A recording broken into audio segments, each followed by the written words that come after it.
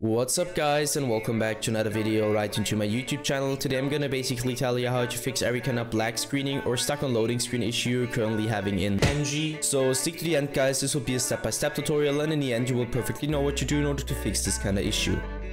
Before we start right into the video, I just want to you guys know or let you guys know that I would really really appreciate it if you would just leave a like, a comment or a subscription right into my YouTube channel. It would really make my day and help me out as a little YouTuber as I am.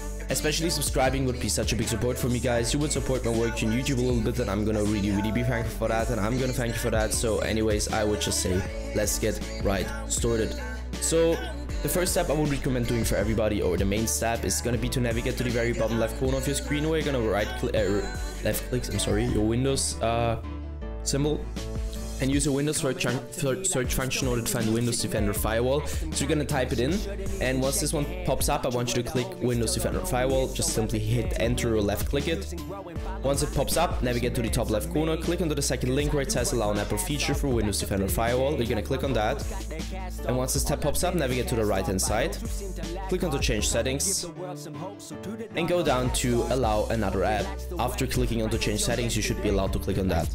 You hit that, hit browse once this window pops up. And now I can't really tell you where it's, where it's located because on every single PC is located somewhere different. You need to search it for yourself and once you found it you're gonna hit open. And afterwards you're gonna hit add and once you hit add it should be it. You can close these tabs and this should be it guys. I hope that I could actually help you out with this video. If it was like that just leave a like, a comment or a subscription. I'm gonna really be thankful for that.